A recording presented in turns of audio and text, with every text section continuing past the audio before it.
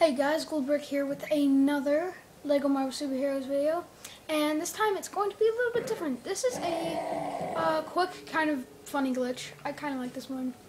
I was playing as Iron Patriot, and I was doing something with Hulk, and I'm going to call this the slow motion karate kick glitch, basically.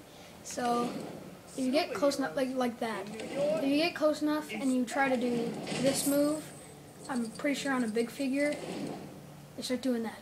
Slow mo. So you can do like a slow mo kick. That. I'm not sure how many characters work with this. I'm gonna try, you know what? I'm gonna try Jean Grey though. I know she does a move like that.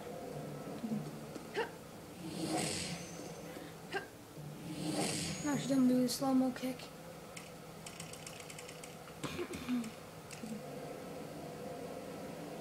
I think all these guys do, so it's kind of funny. Slow mo. Actually, friends that.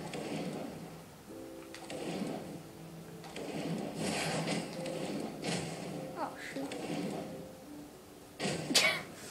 yeah, I, I like this glitch because it's pretty funny. But that's all you have to do. I'm pretty sure all you need is a big figure, like this person. And this even works with any other big people. So like let's say you wanted to do this, you need a guy like this, like an Iron Man kind of guy. And jump. Do try to do the slam move where he jumps like jump X. But do it like this. And you can go slow mo kick. So thanks for watching guys. This is another one of my glitches. And if I find any more, I will definitely post them. Thank you for watching guys. Don't forget to leave a like and uh, hit that subscribe button. See you later guys.